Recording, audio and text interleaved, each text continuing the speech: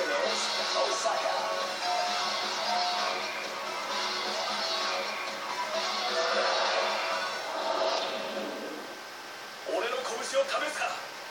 Come on! This is gonna be a match to remember. Fight!